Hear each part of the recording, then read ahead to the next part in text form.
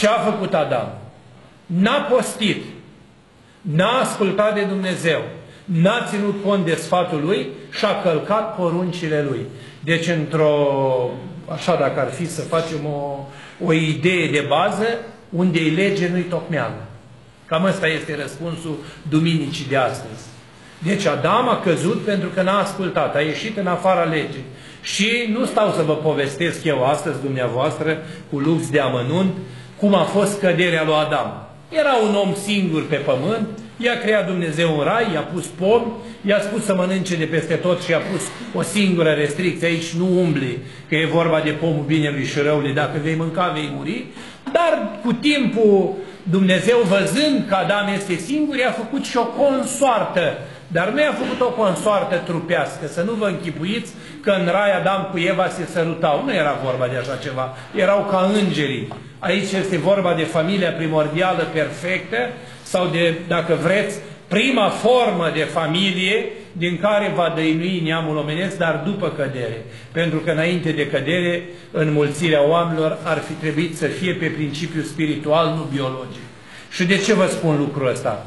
Această pereche a lui Adam, numită femeia, iată ozni oasele mele, carne din carnea mea, femeie se va numi Eva, adică viață, a venit și a stat de vorbă cu acel numit animal șarpe în termenul scripturistic, dar de fapt diavolul și-a luat închipuirea și asemănarea în acest animal și frumos și viclean și pervers și uns cu alifie prin structura creației lui, și le-a strecurat îndoiala față de poruncile lui Dumnezeu. Același șarpe, în chip nevăzut, vine și astăzi, tot sub lucrarea diavolului, și vă bagă în cap tot felul de slăbiciuni trupești și închipuite și fondate și nefondate, că ar trebui să postim, că n-ar trebui să postim, că e prea mult, că e prea greu, că se poate, că nu se poate, că ar trebui așa, că ar trebui nu știu cum. Nu trebuie nimic, trebuie un singur lucru de va vrea omul, va face toate câte vrea. Și de nu va vrea omul, nu va face nimic. Deci așa e și cu mântuirea. Voi trebuie să vă rugați înaintea lui Dumnezeu și acasă cam așa. Doamne, dacă vreau, mântuiește-mă și dacă nu vreau, mântuiește-mă. Și de vreau sau de nu vreau, tu mântuiește-mă. De ce? Că noi nu suntem conștienți de acest tablou al căderii lui Adam, dar spune învățătura mai departe că a plâns Adam la ușa raiului 200 de ani ca să fie primit înapoi, văzând ce greșeală a săvârșit. Și i-a spus Dumnezeu, nu Adame, cunoaște pe femeia ta, nașteți fii și așteaptă făgăduința care a fost ție dată la izgonirea din rai. Tu, femeie, vei zdrobi capul diavolului. Zdrobiți capul diavolului. Faceți-le soților mâncare de post, nu stați cu gura pe ei, nu-i cicăliți, nu urlați, nu țipați, pentru că în post este mai mare ispita și încercarea, fiți mai blajâne, fiți mai blânde, fiți mai înțelegătoare și chiar eliminați acea frază pur ortodoxă, de Dumnezeu nu mă las, dar de tine mă las. Dacă te lași de bărbat și crezi că ești cu Dumnezeu, și de Dumnezeu te-ai lăsat. Fiindcă calci una din tainele cununiei, eh, una din cele șapte taine numită a cununiei, despre care spune Scriptura așa, ce a unit Dumnezeu omul să nu despartă. Deci tu nu poți să fii ortodoxă dând cu piciorul bărbatului tău sau invers bărbatul femeii. Deci familia a postit în rai împreună cât a postit, iar când a căzut, împreună a căzut. Dar Apostolul Pavel ne-a dat o șansă, a spus așa, femeia credincioasă sfințește bărbatul păcătos și bărbatul credincios sfințește femeia păcătoasă. Deci pe parcursul acestui post, ca să trebuiască să zdrobiți capul șarpelui, trebuie să fiți puțin înțelepte și îngăduitoare.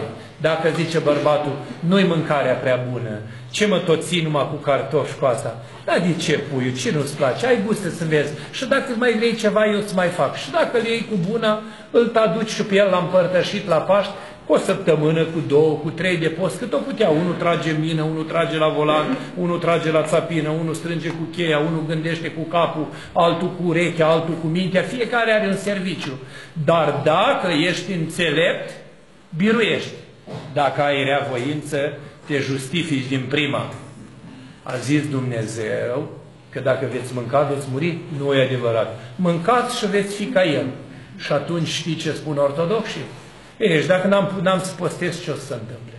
nu se întâmplă absolut nimic. La fel răsare soarele, la fel la sfințește peste cei drepți, peste cei păcătoși, dar, spune în cartea lui Noe, deci la capitolul facere așa, și în vremea lui Noe mâncau, beau și se veseleau, se însurau și se măritau și totuși potopul a venit peste dâns și și-a pierdut pe toți cu apă.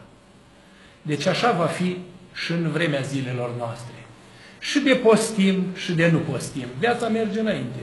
Și de ne căsătorim și de nu ne căsătorim. Viața merge înainte. Și de ne înfrânăm și de nu ne înfrânăm. Viața merge înainte.